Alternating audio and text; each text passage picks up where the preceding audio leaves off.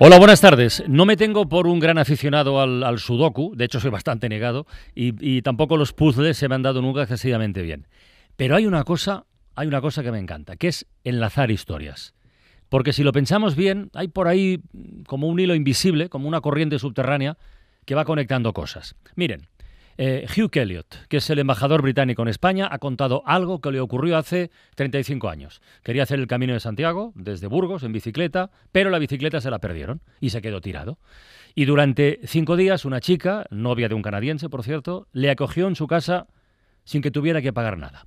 Bueno, pues ahora el embajador busca a esa mujer, quiere darle las gracias, ha hecho público incluso un comunicado a través de Twitter y se pregunta en cuántos países se habría acogido así a un forastero.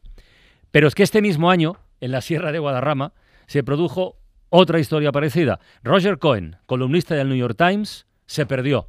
Se perdió a 2.000 metros de altura, ¿eh? que no es ninguna tontería, mientras practicaba senderismo, y ahora ha escrito un artículo con el que pretende más o menos, pues lo mismo, dar las gracias y poder localizar a quienes le ayudaron de forma desinteresada. El artículo es muy chulo, ¿eh? se titula Perdido y encontrado en la España de Hemingway.